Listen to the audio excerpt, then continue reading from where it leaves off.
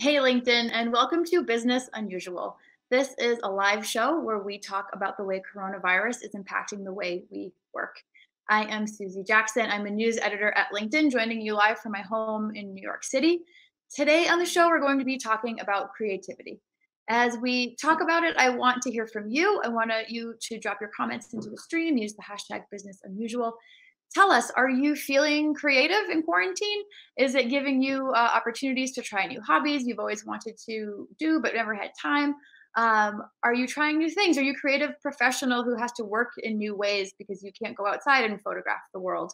Um, or are you a normal person more like me? Maybe a stick figure is more in your repertoire um, but you're too busy or too anxious or, or too anything. Your head's full of everything else. You, you can't find time to be creative I'm a little bit more in that boat. I am working from home uh, full time with my husband, who's working full time. We have two small children. I see some colleagues talking about taking classes in mixology or how to be a DJ, and I'm extremely jealous. I, I don't have the headspace whatsoever to do something like that. But uh, I know other people are in different situations, and it's kind of interesting when everyone's experiencing something altogether, um, but still experiencing it in very different ways. So today we're going to talk a lot about creativity um, on either side. Are you feeling blocked or not? Um, are you plowing through your favorite streaming service and, and getting your nourishment creatively that way by enjoying things? Um, are you learning to knit? Are you reading more? Are you writing more? Um, I've asked people in uh, creative industries on LinkedIn what quarantining has meant for them.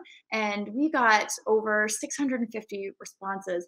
So we're going to be looking at some of that work throughout the show today people were writing in talking about their novel projects, talking about their painting, talking about um, creating video games, also saying that sometimes it's hard and they don't have enough headspace to be able to do that, uh, even though there are creative people um, in their souls.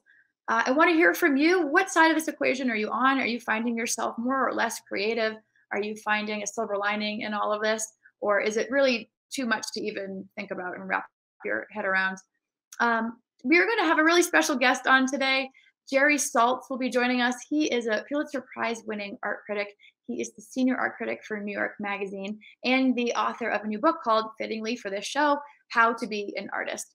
So we're going to bring on Jerry in a few minutes. Um, we're also going to do a fun activity with Jerry. So stay with us throughout the show. If you are feeling a little bit blocked, we're going to do something that should give your creativity a little kickstart. And uh, neither Jerry nor I are really ready for this. So it's going to be wildly entertaining, I think, for you to watch and I hope for you to participate with us. Um, before we bring on Jerry, I wanted to look at a little bit of what people are saying on LinkedIn about creativity. Uh, the first comment I wanted to pull up is from Rod. Um, he says that artists are feeling uh, that they're having trouble focusing right now, but that he thinks that once you start the creative process and get into the zone, um, the cares of the world disappear, at least for a while, Rod says. He thinks that it's better to get into a flow state like this and be creative than a lot of the other things that people are doing to escape the stress associated with being quarantined. I know uh, liquor sales are way up. Um, maybe being creative and doing an art project is maybe a little bit better for your health, your mental health, um, than just hitting the bottle at night. Uh, but on the other hand, we have we've hear from Tyna, who she's a musician um, this is not Tyna. This is Tyna's daughter. She's in a situation like me where she is trying to work full time. Her husband is trying to work full time from home. He is in a role where he's on the phone a lot. So Tyna, he's a singer songwriter. She has to be quiet. It's kind of uh, difficult to do that work when you have to be quiet all the time. And when you're homeschooling, she's now homeschooling her children, um, trying to figure out how to keep them occupied throughout the day. Uh, we have a comment from Sierra, who is an art student, and she she comes to us with a tip she finds that taking moments to step away from the screen has really helped her uh, clear her mind. It's allowed her to get back into painting, which is something that she's really happy to have the time to do now, and it's, it's actually making her feel really good. Um, and one more kind of prescriptive tip comes from Liz, who shared that she gives herself an assignment she is creating an apple a day. So clever play on words, but also really simple. It's just one little thing to do each day. Um, it doesn't have to be a massive undertaking starting the great American novel. You could just draw an apple a day. So Liz shared a few of these with us, and uh, she has even more. It's really neat to, to filter through them all and see how um, each day she's finding something else a little bit different uh, and inspiring. Uh, but for more tips and from really from an expert on this topic, I wanted to bring in my guest, Jerry Saltz. I mentioned Jerry is the book, uh, the author of a book, How to Be an Artist. He is the senior art critic at New York Magazine. He's revered in the field. Um, Jerry, come on, come on over. How are you doing today? Hello, LinkedIn. You. This is the first time I've ever been on this. Uh, for 10 years, I kept getting LinkedIn emails and I deleted them because I didn't know what they were. And here I am, first time caller, first time listener. Great to meet all of you. That's great, Jerry. We're very glad to have you. Um, we'll try to stop sending you so many emails. I'm sorry about that, but we're glad to have you now. And I know that the members tuning in are delighted to hear from you. Um, you even volunteered to critique some of the art that we're going to see. So um, know that they were not necessarily prepared for that. So be kind. Um, but I think that's a real treat for anyone. Uh, you're, you're a legend in your field. Um, you describe yourself as a failed artist. Uh, you also say that anyone who's not creating art is a failed artist. So I'm not creating art right now. Maybe by the end of the show, I will be. Um, but talk to me uh, about that. What, what what can art do to help us through a time like this? Very, it's a great question, uh, Susan. We all have to remember something. Art, creativity was with us in the caves. It's in every bone in your body. Darwin said it wasn't survival of the fittest or the strongest. It was a terrible misunderstanding. Darwin said it was survival of those most able to adapt. And now, with this terrible, terrible angel of death walking amongst us, we are all forced to adapt in all sorts of ways, all at once. And the interesting thing about creativity, Susan, is that it thrives under exactly the conditions all of you are listening to right now. Listen, it thrives under pressure. It thrives in smaller places, in intimate settings. It thrives when what you're trying to do, if you can see my desk, there's a billion things all around me. When you're what you're trying to do is going on here and right next to you the kids are going insane. Nana is back there like cooking. Uh, like your significant other is annoying you and the dog won't get off of your lap. What we need to understand is 99% of all the things our species ever made they were created in a situation exactly like this where the home, the studio. Look at look at that's Henry Matisse. He couldn't get out of bed. He was unable to walk. And what did he do? He took what energy he had and started drawing on the walls.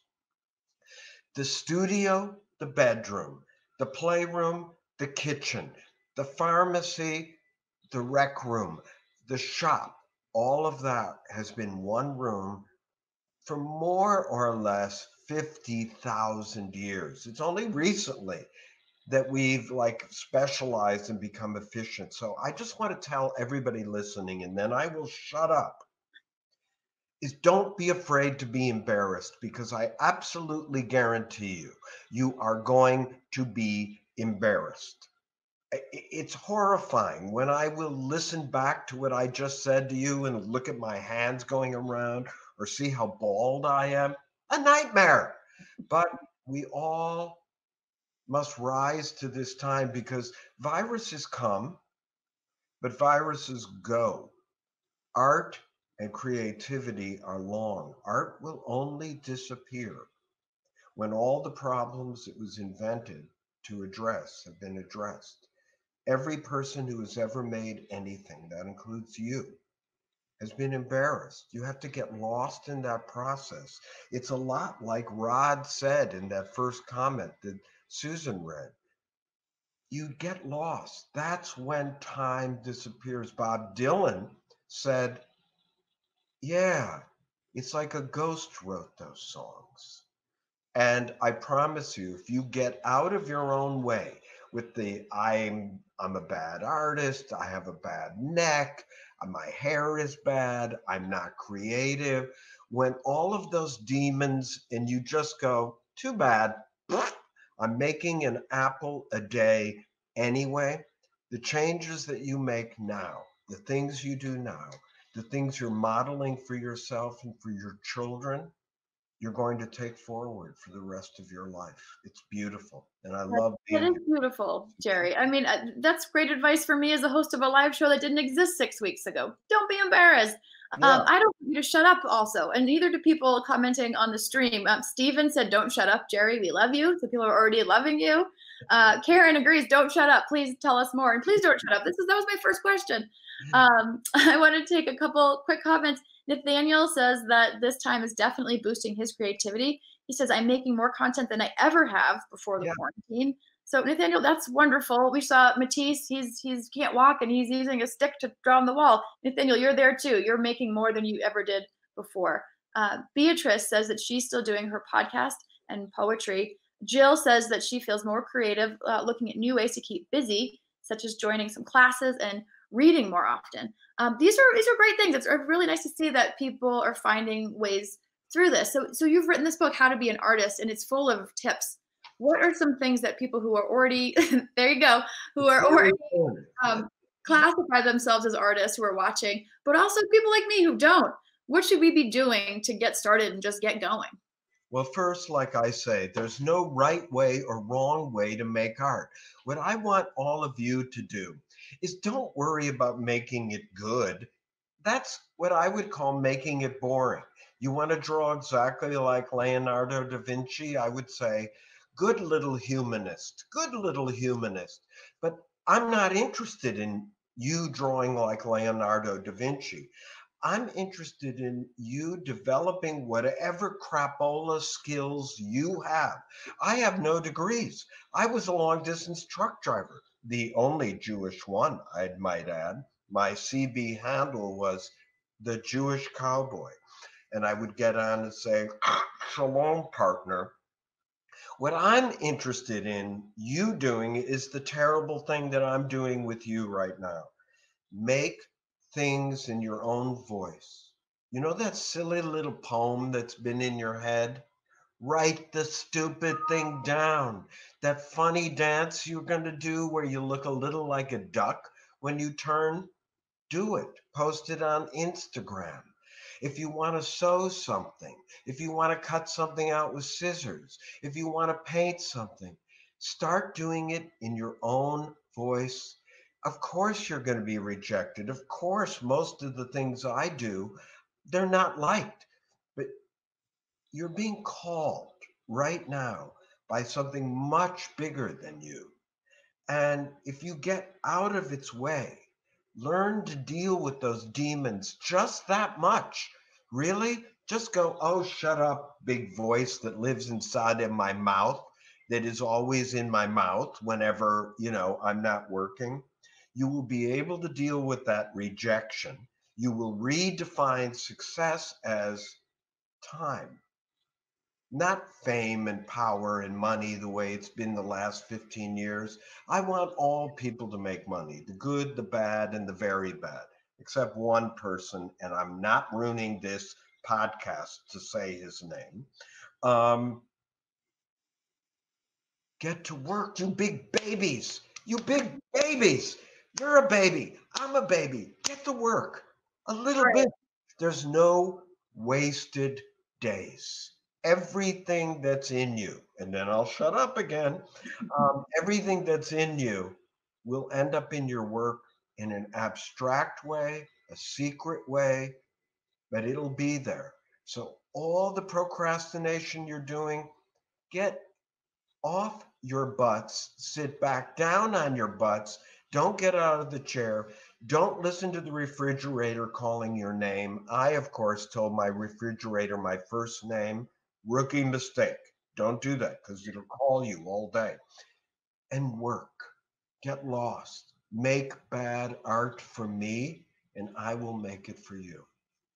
Let's look at a couple of people who have gotten off their butts and have started to get to work.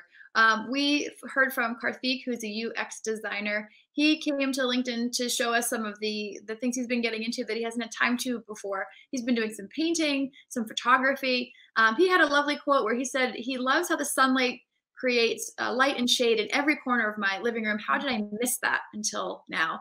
I think that's a it's a wonderful perspective on this. You're stuck in the house, but you're getting to do some things that you wanted to do and enjoying the beauty and things that you didn't have time to notice before.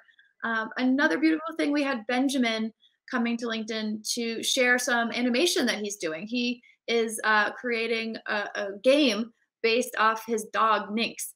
It's a traditionally animated frame by frame 1930s style game called Nynx and Penny. You can see a little clip of it here. Um, I mean, that's pretty intense and full frame by frame animation. That's something that it's, it's maybe it's a gift to have this time to be able to sit and, and do. And he's got that inspiration.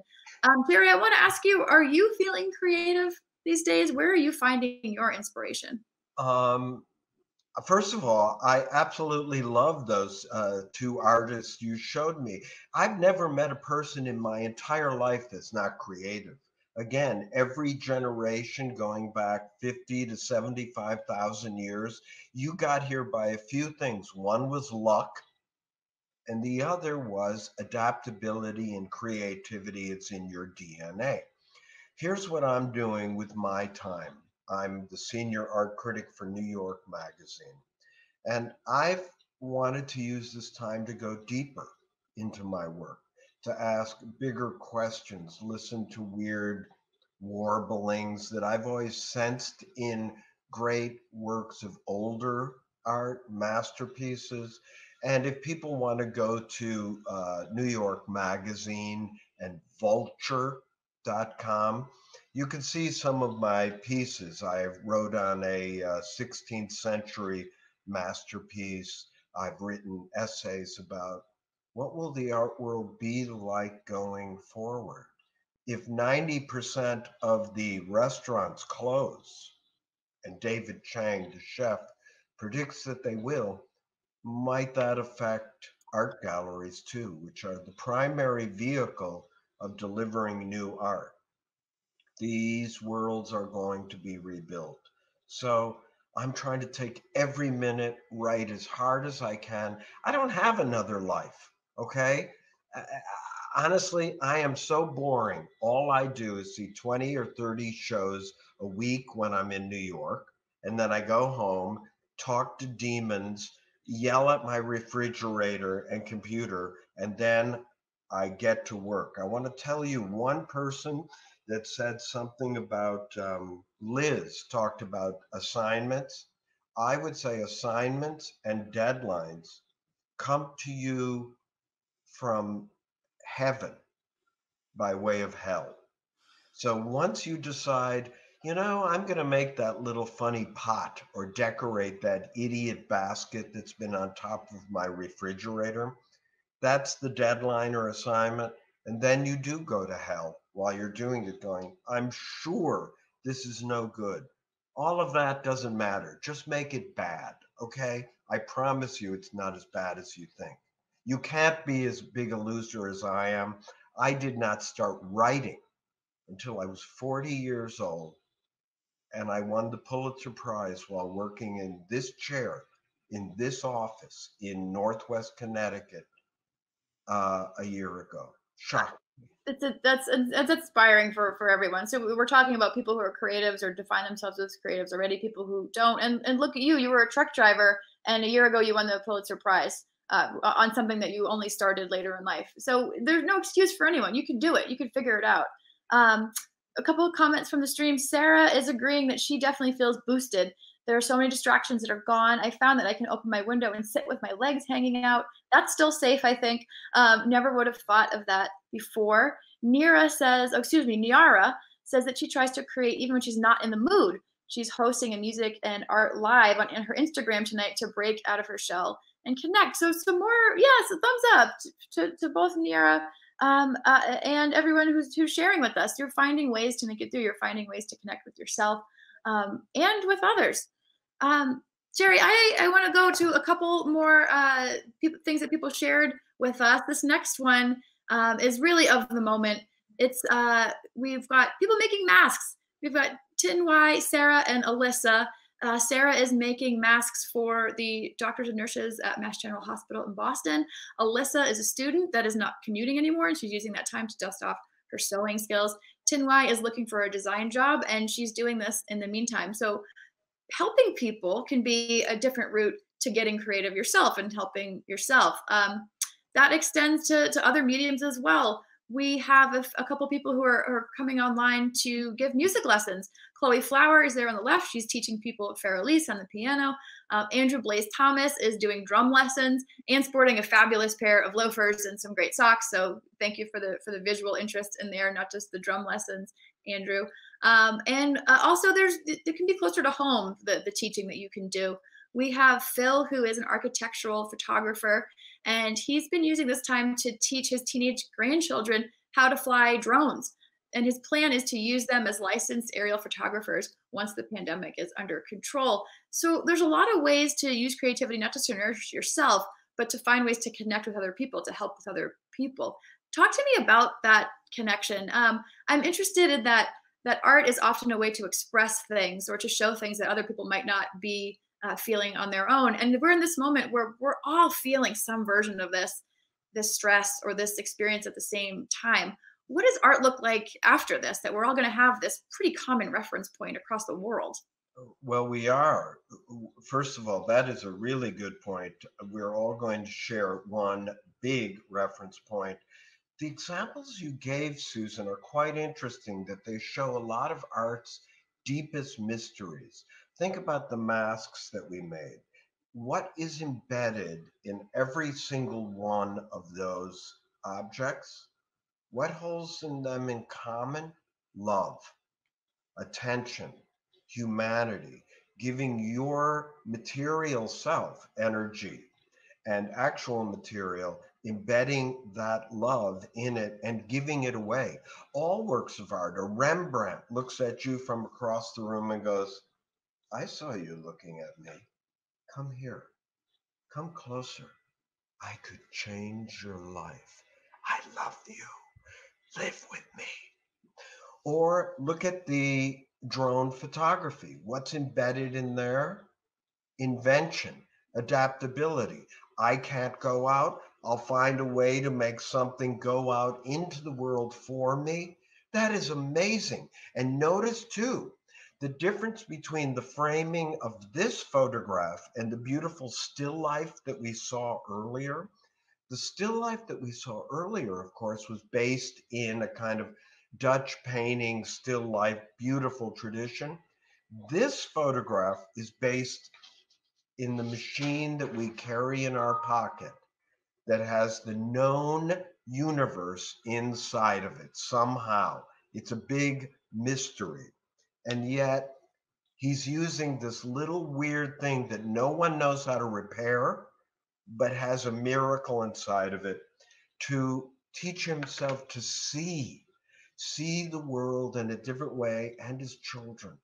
These examples just are a, a, a snowflake on the tip of the iceberg that's happening around you when we go back to museums and galleries in our lives, but in my case, museums, I want to tell you all look at the person next to you. And if you can do this without being obnoxious, go, what do you think? And you will find the same miracle that Susan has been showing you, that you've been sharing with her, that everyone is kind of brilliantly visionary, even if we're just idiots on this bus. um, we have a Hammond who wants to thank you. He says you are helping so many of us continue and survive, Jerry. Thank, thank you. you. Hammond, maybe you can thank Jerry uh, our local bookstore. Um, Jerry, I want to look at uh, two more pieces of, of art that people have sent in, uh, and then you and I are going to do an activity. So, just telling the viewers really quickly This is Business Unusual. It is a live show on LinkedIn where we talk about the way coronavirus is impacting the way we work. We are talking about creativity today. We have the legendary Jerry Saltz with us, Pulitzer Prize winner, art critic for New York Magazine. We are looking at some of the lovely work that you have sent to us. We uh, I asked the other day, what's going on with you? Are you do you feel like you're a creative professional? Do you feel like you're not a creative professional? You want to be more creative? You're blocked. Where are you? Show us what you're working on. And we had more than 650 of you come back to us with responses and showing us your work. So I want to show two more of those things, Jerry, before we get to our activity. And stick around for that activity because you can participate in it. Um, this is from Courtney, who is a graphic designer who loves to travel and really missed being able to get outside and travel. So she did a little project where she paired some of her landscape photography with these beautiful color swatches. So we've got uh, images from uh, California all the way to Denali National Park here. Um, I really, you know, well, actually, I, I shouldn't critique it, Jerry. I'm going to leave that to you. I really like the color in this. I like that it's just a simple thing. It combines two things that Courtney loves to work on. And she called it a simple little project, but it's making me happy. Do you know what Courtney's doing? I see the secret. Courtney, you can't fool me. Mwah, mwah, mwah. What Courtney did, she didn't just take color swatches. Look at the one from, say, Denali on my far right or Santa Monica. I'm jealous of all of you sheltering in place in the warm climates. I very much hate you. But look at either of those. Do you see what she's doing with the colors? Guess, Susan. Uh, gradient, uh, picking up colors in the palette. Those are my two guesses. Yes. She broke down the basic colors of each photograph through this idiot tool called the phone or the computer and uh, you know systematize what your eye is already seeing we have to remember that in one fifty thousandth of a second before you identify the thing you see as mountains, your eye is only seeing patterns, colors, uh, complete chaos. And believe it or not, Courtney, you big, beautiful dummy, you're breaking down vision into its one fiftieth thousandth of a second before we organize it. Bravo, bravo.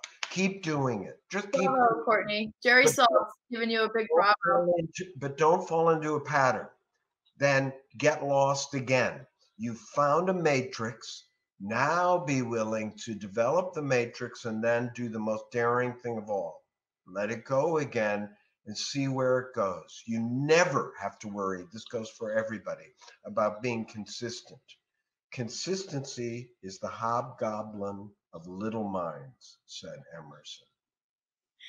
Um, if we could look at one more before we do our project, Jerry. Um, we the big gulp. Um, we have Jeremy who is representing our writers. Uh, it's a little harder for a writer to show their work to us in, a, in, a, in an ask like this, but Jeremy said that he is working on a book with his super creative daughter Ella. It's an alphabet book to inspire other young girls with positive words.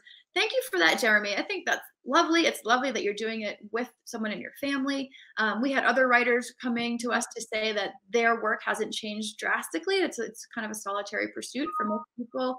Um, we did have one writer say that he now had more time to narrate his own audiobooks and the audiobooks of friends. So different ways to create there, even if writing is something that maybe you're not used to um, having to go out in the world much to do it. Although a lot of people do love coffee shops, and that's a blocker right now too. Um, Jerry, what do you think of, of the artwork on Jeremy's book? I'm thunderstruck because all children have an artistic practice. What happens is, tragically, we train them to draw inside the lines. How many people listening, either when they were a kid, drew on the walls, your parents went, bat crap. Um, you would lie on the floor looking at the ceiling, pretending the ceiling was the floor. You would lie and look at uh, dust motes floating through the air in your sunny apartment or home and think about the universe. You were an artist then. Your daughter, Jeremy, is doing important work that's creating gig- a gigantic syntax in her mind right now. And just let it go. If she needs more than 26 letters, maybe 244 would do it, 155. Maybe some would be images. We've had hieroglyphics in the sand for 7,000 years. We don't know what they mean, but we know they mean something. All right, Jerry, it is project time. Here's what my work, here's what my writing looks like. It's pathetic. It's colorful. There's some gradient going on in there too. Yeah. Um, you and I are going to do a project now, and I want to invite everyone watching on the stream to to join along with us. Um, I'm going to spring this surprise on Jerry right now. He doesn't know what the assignment is, and neither do you. So you're all in this together. Um, Jerry, you and I are going to make a sculpture out of whatever we can find in our rooms that we're sitting in right now. So a lot of people are writing in saying that they're feeling blocked, not knowing where to start. I think let's just start right now. Let's start with something so simple.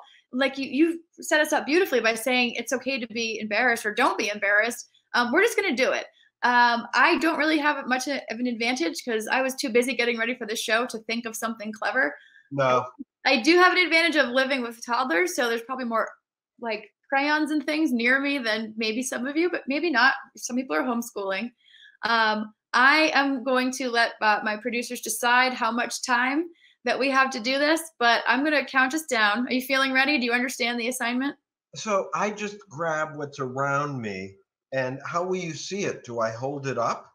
Yes, I'm going to move my camera so that maybe people can see me doing it. But you, I think, just go for it and figure out when to hold up things and tell us what you're doing. Let me see if I can move my. I work on a giant desktop. Can you see that table? I can see the table. I can see the lamp. You did say the room was full of good stuff. So I oh, Okay, Here we go. Ready? All right. I'm going to move my computer. Three, two, one. Here we go.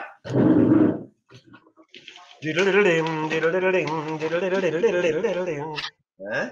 Look at this. This is a. uh, well, Who would know this? Is it okay to do a naked thing? Is this acceptable? It's I, we're live, so I guess we'll have to find out. Um. I have my stuff. I'm getting some stuff. I think I might hear my kids coming home, which maybe is okay because you said we got to create with what we have. yeah. Yeah. All right. So sculpture. Let's see. I might hear my kids. You know what? I'm gonna go tell them to come in. I'll be right here. I'll be right Yeah. back. And it turns out that I speak painting. So look what I'm already doing. Can you see it at all? No. I just put this here. Making art is hard. No. I'll be back. All right, so I found uh, a paper towel roll and some of this cool thread that's dipped in wax that I didn't know about when I was a kid, but apparently other people did. I've been telling everyone about it because I think it's great. Um, and I found an old dry erase marker that barely works.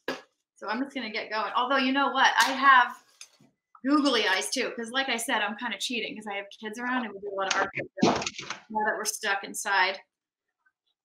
I don't know if I have any tape to put the googly eyes on, and the box is really stuck shut. So we're either going to have googly eyes everywhere, or I'll have to move on to something else. Let's see. I've got pencil. Maybe this could be an arm. Oh, it works. Okay. And Jerry, if you injure yourself while we're doing this, I can claim no responsibility. Uh, you're doing amazing. I'm cheating. We're cheating. Yeah. All right, looks like we only have a couple minutes left. I'm going to keep. I'm almost done. You're almost done? Oh my Yep. gosh. All right. Why. Me up, Jerry. Here's what I made. I hope you can see it. I'll try. Wait. Every artist makes up their own rules and then they follow them. And then they follow those rules until they decide to break them. When Susan asked me to make sculpture, I right away noticed I was just doing something I didn't want to do. I was doing just a tableau, a setup. And I realized immediately that I think in no dimensions and two dimensions. So here's my painting. I just finished it. All right, let's see it, Jerry. You did a painting? Oh, okay. I, I love it. I love it. I get it. Beautiful. This beautiful. is the advice I give to all of you. Don't look at Susan's sculpture or my painting and say, I wish I could do that. Now let's see Susan's because she's good. Well, thank you. I was going to make a joke that people will look at this and they're not going to say, I wish I could do that. But here, here we have my sculpture. Wow. It's bearded. You're not supposed to have a beard right now, says the CDC, but it's art, right? Be whatever it needs to be. Does your husband have a beard? He did until a few days ago. And then, she loves her husband and she made a monstrosity. She made a gargoyle. Do you know what a gargoyle is? Tell them what a gargoyle is, Susan. Oh, a, a, a sentinel, right? A watcher. Right. And I'll show you how Chinese sculpture looks outside of their tombs, like this. Should we do our best gargoyles right now? Our what? Our best gargoyle. I'm going to do one yeah. for you too. Um, I'm also seeing that what our producer Steven did this project with us. So I'd like to invite Steven to come on right now and show us what he did too. Yes, I did. So I took my water bottle and things around me, and I have this Warren Buffett ducky.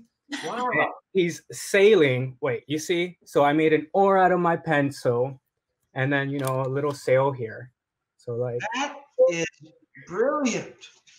Look at the technology on that. You understand, right? That even Neanderthals found a way to make what he was making to capture the wind to take their fortune along the coast of the Red Sea and cross the Red Sea into the Middle East. I mean, is that insane what he did and what she did? We have Gothic architecture and gargoyles on the one hand, and one of the most advanced technologies our species and one of the most daring ever developed. So you big babies, if mm-hmm. those idiots, if those idiots can do it, and I failed even worse, you'll you can't fail much worse than the three of us. You may have just called Stephen a Neanderthal, but I think he'll still be pleased with your critique. Um, Jerry, it was really lovely to have you. I hope everyone watching, I hope you did the activity with us. I would love it if you would take a picture of what you created and use the hashtag business unusual to post it to LinkedIn. You can tag me as well. Um, uh, Susan Jackson is how you would tag me. I would love to see what you've created. Um, Stephen, thank you for doing it with us too. Jerry, it was really wonderful to have you. Thank you so much for being my guest today. I hope that all of you will follow me on Instagram and Twitter. It's, uh, you know, there's a red picture there, Jerry, Jerry Saltz, okay? And if you build it, I will come. There's 1 million people there, but I answer every person. Keep, and buy my book at a local bookstore. Really, it will really, really help you. You'll be surprised that even I could write what I wrote. I am. Well, and Jerry, I know you're kind of an internet star. You uh, went viral the other day for loading up your trunk with like 25 cups of to-go coffee. So follow Jerry for some very entertaining and creative, sparking content. Jerry, thank you for joining us. Susan, all of you, I miss you. We'll see each other when all of this is over. Mwah. Mwah. Thank you, Jerry. And thank you to all of you for watching. Thank you for bearing with whatever white thing is in the corner of my screen right now. I don't know. We're doing art. Um, we are here, Business Unusual, every day, every weekday from the LinkedIn editors page at noon. On Monday, uh, my colleague Jordan Dahl will be joining us on the show to talk more about small businesses and the small business loans that are happening right now. A lot of questions going on about that. Um, thanks for joining me today. Again, post your pictures of your art project to LinkedIn. Use the hashtag business unusual at tag me, Susan Jackson, if you'd like me to see them. Thank you for being with us today. Stay safe out there.